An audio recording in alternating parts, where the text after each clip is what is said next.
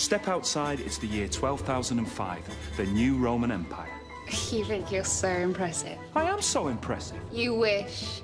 Right then, you asked for it. I know exactly where to go. Hold on.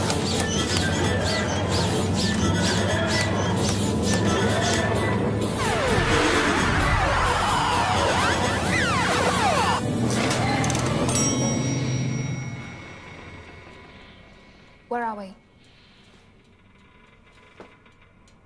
What's that there?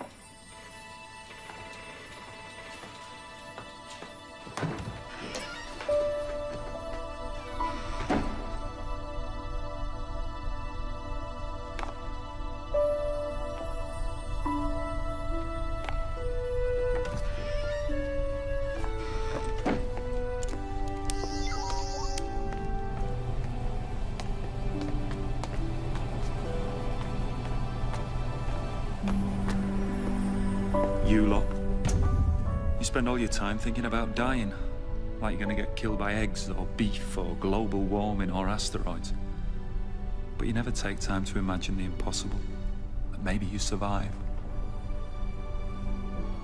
This is the year 5.5 slash Apple slash 26, 5 billion years in your future.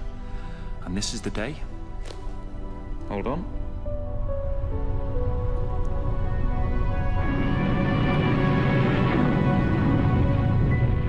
Day the sun expands.